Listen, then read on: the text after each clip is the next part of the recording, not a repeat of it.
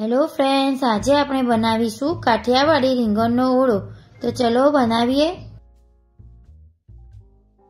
સૌથી પહેલા ઓળા માટે પાંચસો ગ્રામ રીંગણ લીધું છે.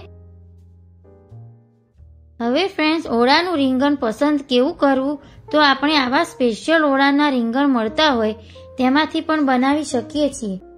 આ રીંગણને મેં સરખું ધોઈ લીધું છે. હવે ઉપરનો ભાગ છે, તે થોડો કાઢી લેવાનો. હવે ફ્રેન્ડ્સ રીંગણને આપણે એમને એમ શેકવા મૂકીએ તો અંદરથી પાણી હોય એટલે તેનો વરાળ થાય છે અને પછી રીંગણ ઘણીવાર ફૂટે છે. તેવું ના થાય તેની માટે આપણે તેને કટ આપી દઈએ, જેથી તમારી રીંગણ ચેક પણ થઈ જશે. ખોલીને આ રીતે ચેક કરી લેવાનું. જો ખરાબ હશે તો ખ્યાલ આવશે. બધી સાઈડ કટ આપી દેવાના, જેથી ચેક પણ થઈ જાય. ઘણીવાર રીંગણમાં ઈયળ પણ આવતા હોય છે. પણ આપણું રીંગણ સરસ છે. હવે રીંગણની છાલ ઉપર તેલ લગાવી લઈએ, જેથી રીંગણ ફ્રેન્ડ શેકાઈ જશે. ત્યારે તેની છાલ અલગ સરસ રીતે થઈ જશે. હવે આપણે રીંગણને શેકી લઈએ. આપણે આ રીતને જાળી મૂકીશું તો તો ગેસ ઓછો ગંદો થશે. જાળી ના હોય તો આપણે રીંગણને ગેસની ફ્લેમ પર પણ શેકી શકાય. અત્યારે ફૂલ ફ્લેમ પર શેકીશું. થોડું ફેરવતા જવાનું. તમારે ટમેટા, લીલા મરચાં અને સૂકું લસણ શેકવા મૂકવું હોય તો તમે મૂકી શકો છો. અત્યારે ટમેટું મૂક્યું છે. આપણે ખબર કેવી રીતે પડશે કે રીંગણ શેકાઈ ગયું છે તો તમે જોઈ શકો છો. અત્યારે એકદમ ટાઈટ સ્કીન છે. જેવી રીતે રીંગણ શેકાતું જશે ને તેમ તેમ રીંગણ સોફ્ટ થતું જશે. ફ્રેન્ડ્સ આ કાઠિયાવાડની ટ્રેડિશનલ વાનગી છે. અને સ્વાદથી તો એકદમ ભરપૂર છે. શિયાળામાં તો ખાવાની મજા પડી જાય. હવે આપણા રીંગણ શેકાઈ ગયા છે. તો ફ્રેન્ડ્સ ટમેટું આપણું શેકાઈ ગયું છે? ટમેટાને શેકાતા વાર નથી લાગતી? હવે આપણા રીંગણ શેકાઈ ગયા છે, તો ગેસની ફ્લેમ બંધ કરી રીંગણને પ્લેટમાં કાઢી લઈએ.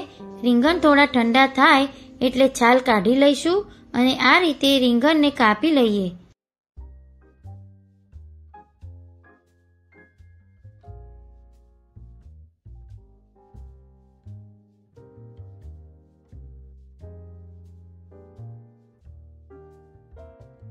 અને ફોકની મદદથી મેશ કરી લેવાનું એટલે એકદમ માવા જેવું સ્ટેક્ચર થઈ જશે. હવે ઓળાનો વઘાર કરવા મેં અહીંયા માટીનું વાસણ લીધું છે. તમે કોઈ પણ જાડા તળિયા વાળું વાસણ લઈ શકો છો. હવે ત્રણ ટેબલ સ્પૂન તેલ ઉમેરીશું. કાઠિયાવાડી શાક અથવા ઓળો હોય તો તેમાં તેલનું પ્રમાણ પ્લસ રાખવાનું, જેથી મસાલાનો સ્વાદ બહુ સરસ આવશે એક ટીસ્પૂન જીરું ઉમેરીશું, એક પિંચ હિંગ ઉમેરીશું. હવે લીલી ડુંગળીનો જે સફેદ ભાગ છે તે ઉમેરીશું. મેં અહીંયા અઢીસો ગ્રામ જેટલી લીલી ડુંગળી લીધી છે.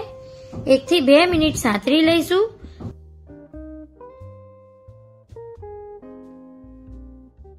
લીલી ડુંગળીનો લીલો ભાગ ઉમેરીશું.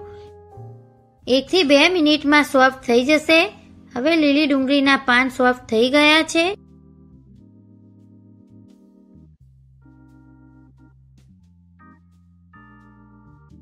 તો આપણે ટમેટું શેક્યું હતું તે ઉમેરીશું. બે ટીસ્પૂન કે સ્વાદ મુજબ મીઠું ઉમેરીશું. હવે મિક્સ કરી લઈશું.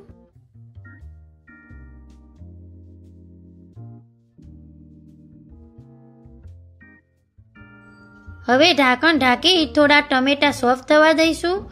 ટમેટા શેક્યા છે એટલે વાર નહીં લાગે.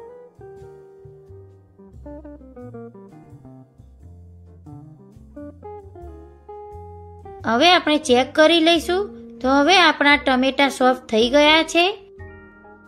હવે એક ટીસ્પૂન આદુ લસણની પેસ્ટ ઉમેરી લઈશું. હવે મેં પચાસ ગ્રામ જેટલું લીલું લસણ લીધું છે, એ ઉમેરીશું. મિક્સ કરી લઈશું.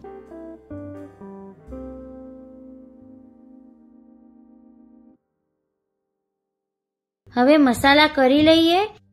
હાફ ટીસ્પૂન હળદર ઉમેરીશું. કશ્મીરી લાલ મરચું પાવડર બે ટીસ્પૂન ઉમેરીશું. ધાણા જીરું પાવડર બે ટીસ્પૂન ઉમેરીશું. હવે એક સિક્રેટ ઇન્ગ્રીડિયન્ટ ઉમેરીશું. તો એક ટીસ્પૂન પાવભાજી મસાલો ઉમેરીશું. હવે મિક્સ કરી લઈશું. જેથી તમારા બાળકો આ શાક નહીં ખાતા હોય તો પણ ખાશે. હવે ઢાંકણ ઢાંકીને થોડી વાર સોફ્ટ થવા દઈશું. હવે સોફ્ટ થઈ ગયું છે. હવે મિક્સ કરી લઈશું. તો ફ્રેન્ડ્સ તમે પાવભાજી મસાલો નાખીને જરૂરથી ટ્રાય કરજો. બધાને બહુ જ ભાવશે. હવે પાવભાજી મસાલો ના હોય તો તમે ગરમ મસાલો પણ નાખી શકો છો. તો હવે રીંગણનો પલ્પ હતો એ ઉમેરીશું. તો ફ્રેન્ડ્સ એકદમ જોરદાર ઓળો બન્યો છે. સારી રીતે મિક્સ કરી લઈશું. સિમ્પલ મસાલા છે, પણ ટેસ્ટ બહુ સરસ આવે છે. તો ફ્રેન્ડ્સ મારે ઓળો થોડો સ્પાઇસી કરવો છે, એટલે મેં એક ટીસ્પૂન લાલ મરચું પાવડર ઉમેર્યું છે. હવે મિક્સ કરી લઈશું. ઉપરથી આપણે થોડા લીલા ધાણા ઉમેરી દઈશું અને ગેસની ફ્લેમ બંધ કરી દઈશું. આપણો ઓળો તૈયાર છે, તો સર્વિંગ પ્લેટમાં કાઢી લઈશું.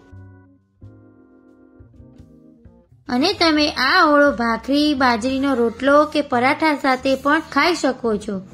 હું અત્યારે ભાખરી સાથે સર્વ કરું છું. તો ફ્રેન્ડ્સ આજની રેસીપી તમને જરૂરથી ટ્રાય કરજો અને મારી ચેનલને લાઈક કરો શેર કરો અને સબસ્ક્રાઇબ કરવાનું એકદમ ફ્રી છે. તો સબસ્ક્રાઇબ કરવાનું ભૂલતા નહીં. ફરીથી મળીશું next રેસીપીમાં thanks for watching video take care bye